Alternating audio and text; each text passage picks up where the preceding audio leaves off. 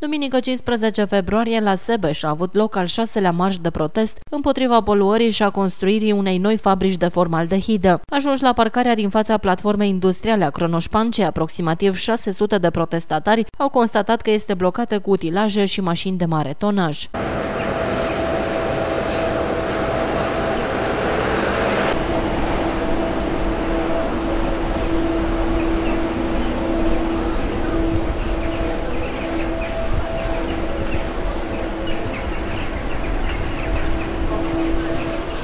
Intenția de a obstrucționa manifestarea antipoluare a fost evidentă pentru protestatari, care au reacționat în consecință.